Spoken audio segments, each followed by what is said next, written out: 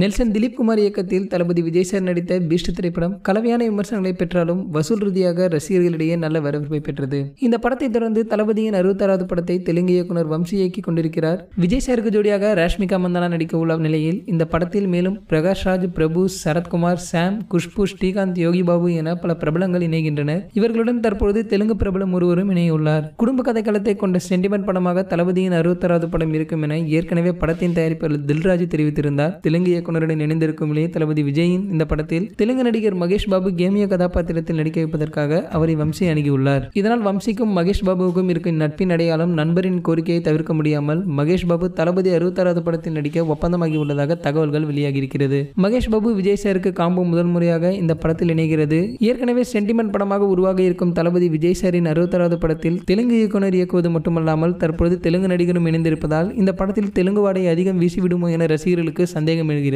ஒரே படத்தில் தெலுங்கு மற்றும் தமிழ் என இரண்டு சூப்பர் ஸ்டார்ஸ் ஒரே படத்தில் நடித்திருப்பது சிலருக்கு சந்தோஷத்தை கொடுத்தாலும் எப்போதுமே தளபதி விஜய் சாரை மாஸ் ஹீரோவாக பார்த்த ரசிகர்களுக்கு மீண்டும் அப்படி பார்க்க நினைப்பதால் விஜய் சார் இந்த படத்தில் தன்னுடைய அடையாளத்தை மாற்றிக்கொண்டால் எப்படி இருக்கும் என்பது படம் வெளிவந்தால் தான் தெரிய வரும். சரி ஓகே. இது போன்ற விஜய் சார் நியூஸ் நீங்கள் உடனுக்குடனே தெரிஞ்சுக்கணும்னா நம்மளுடைய விஜய் த்ரீ சிக்ஸ்டி சேனலை சப்ஸ்கிரைப் பண்ணிக்கோங்க. பக்கத்தில் உள்ள பெல் ஐக்கனை கிளிக் பண்ணிட்டீங்கன்னா நீங்கள் நம்ம வீடியோ மிஸ் பண்ணாமல் பார்க்கலாம்.